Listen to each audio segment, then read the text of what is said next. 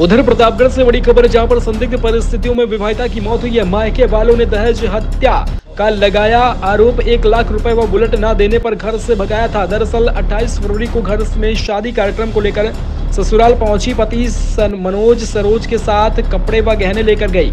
दो दिन बाद देवर ने फ़ोन पर अंतिमा की मौत की सूचना दी है। मृतका के शरीर पर चोट व खून के निशान का आरोप है।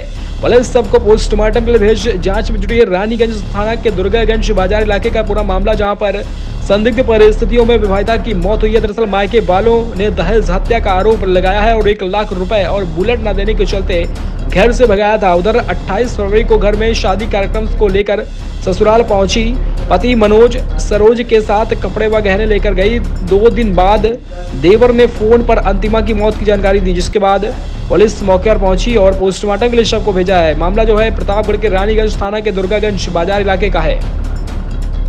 जी, मेरी बहन मेरी बहन थी छोटी मेरे से और यहाँ दुर्गागंज बाज़ार में मनोज कुमार सरोज के साथ शादी हुई थी 2017 में 12 जून को।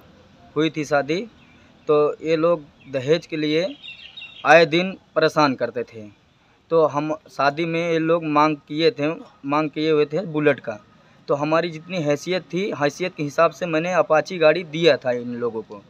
अपाची गाड़ी दिया था तो फिर भी ये आए दिन मेरी बहन को मारते थे परेशान करते थे दहेज के लिए। बो, बोलते थे कि हमको बुलेट चाहिए और एक लाख रुपए कैश न पैसा चाहिए।